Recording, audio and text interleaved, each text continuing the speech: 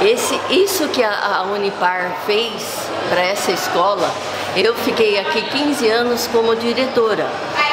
E já naquela época a gente já precisava. E agora a Unipar veio para levantar o ânimo dos alunos, levantar o ânimo da equipe técnica e dos professores. Nosso muito obrigada.